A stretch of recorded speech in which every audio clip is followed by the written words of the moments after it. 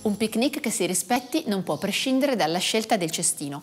A dire la verità ve ne serviranno due, uno per tenere in caldo tutto ciò che va servito caldo e l'altro per le bevande e per quello che volete tenere in freddo.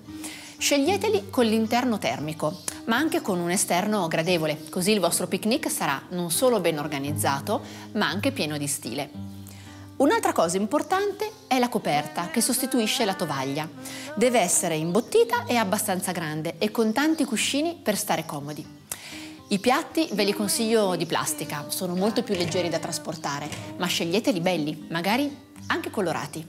Qualcosa da leggere per non annoiarsi e infine un mazzetto di fiori per fare un piccolo centrotavola anche all'aperto, purché preparato con dei fiori di campo raccolti da voi sul luogo.